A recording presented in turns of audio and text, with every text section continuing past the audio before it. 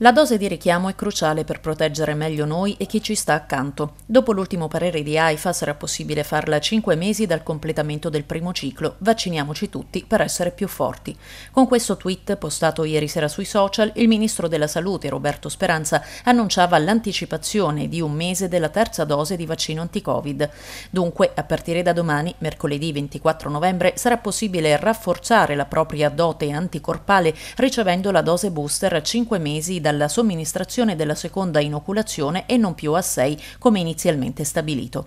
Perché la quarta ondata fa paura e anche questo servirà a scongiurare che ci raggiunga lo spettro degli scenari dei paesi del nord Europa, alcuni già in lockdown, dove il Covid corre più veloce, soprattutto in assenza di coperture percentuali adeguate tra la popolazione vaccinata. Il quadro sanitario in Abruzzo resta ancora da zona bianca, con il 4% dei posti letto occupati in terapia intensiva rispetto alla soglia di rischio fissata al 10%. 10% e il 7% degli ospedalizzati contro il 15% stabilito dai parametri del Comitato Tecnico Scientifico per il cambio di colore.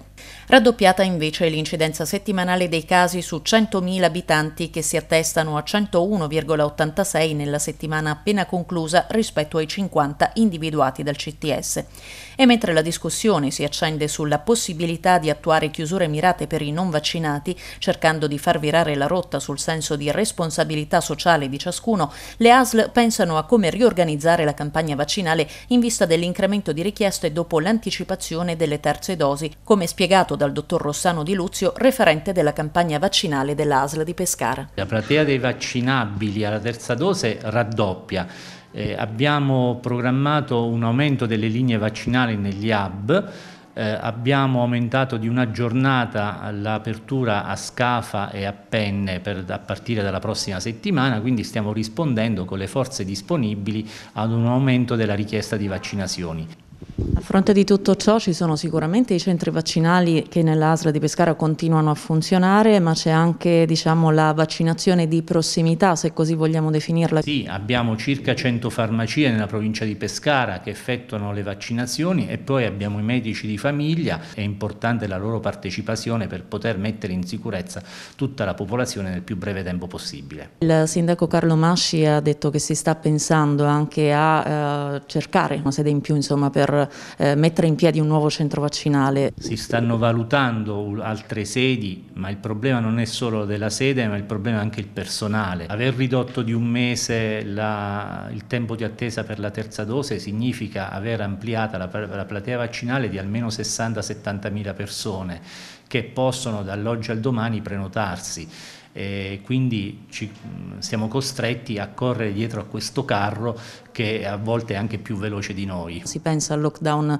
eh, specifici per i non vaccinati, sarebbe davvero opportuno eh, ritornare a delle chiusure anche solo mirate per i non vaccinati?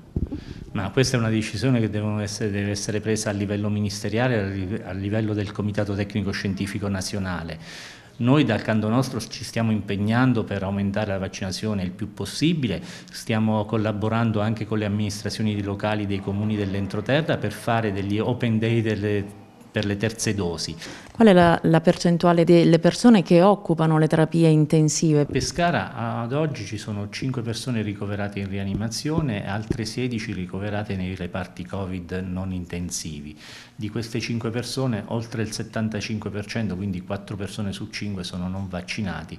Ricordiamoci che un ricoverato in rianimazione eh, costa al, alla popolazione alla, circa 2.000 euro al giorno e questi sono soldi sottratti ad altre patologie žije Parlo di pazienti oncologici ad esempio, quindi tutto ciò che stiamo portando verso il Covid perché le persone non vogliono vaccinarsi sono, sono, sono risorse che sottraiamo ad altri pazienti che ne hanno anche bisogno. Intanto salgono a 74 i dipendenti dell'ASL di Pescara sospesi perché non vaccinati.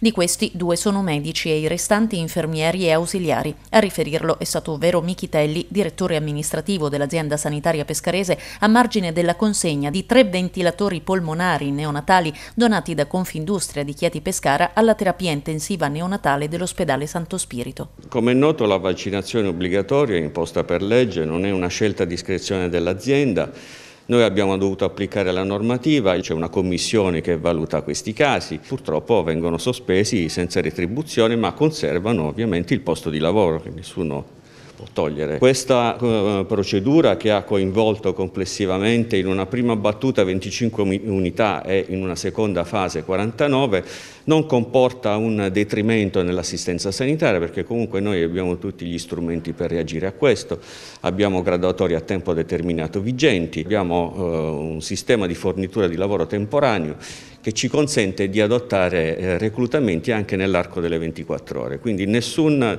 eh, nessuna diminuzione, nessun rischio di eh, dire, contenere la capacità assistenziale dell'azienda.